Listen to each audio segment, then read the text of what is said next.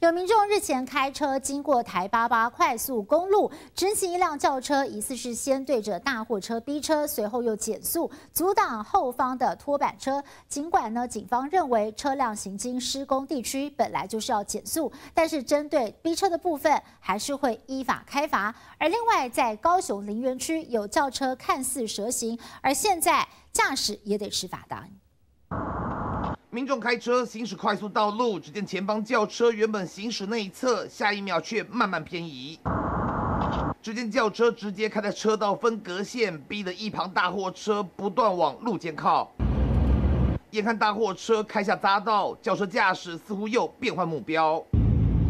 行驶内车道还减慢车速，似乎就不想让后方拖板车闪避外侧施工。事发在五号下午台八八快速道路，当时白色轿车疑似先对大货车逼车，随后又看似刻意减速阻挡后方拖板车。尽管警方认为车辆行经施工地区，车速本来就要下降，但针对逼车部分将依法开罚。恶意逼车行事，处新台币六千元以上三万六千元以下罚款，并吊扣汽车牌照六个月。而另外在高雄，则有汽车疑似蛇行，民众骑车依序直行，只见后方的轿车却偏左又偏右。